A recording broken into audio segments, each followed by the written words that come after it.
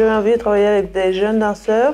Donc, euh, je lui ai proposé un atelier de dance hall, c'est une pratique que je fais souvent. C'est une danse euh, qui vient de Jamaïque. Les dance hall, c'est une culture de danse de rue.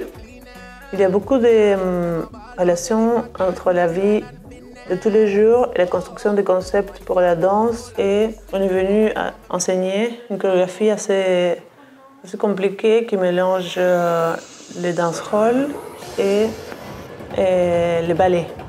Donc, euh, comme eux, ils sont très spécialistes en ballet, ça a été assez bien de voir eux danser ça.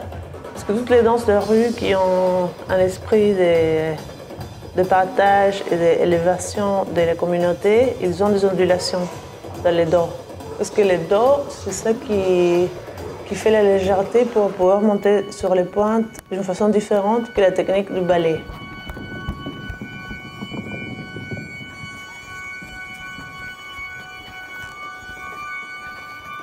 J'ai recherché avec les danseurs aussi de créer des, des groupes qui pourraient et, représenter, symboliser ces éléments, l'eau, les dalles, l'eau, qui sont aussi présentes dans l'industrie alchimique ou métallurgique.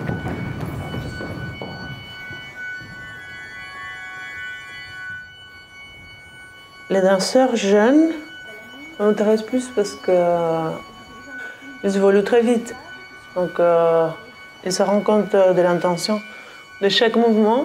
Ils sont en train de se construire et euh, ils sont plus ouverts à être magiques, à être euh, vraiment imprégnés.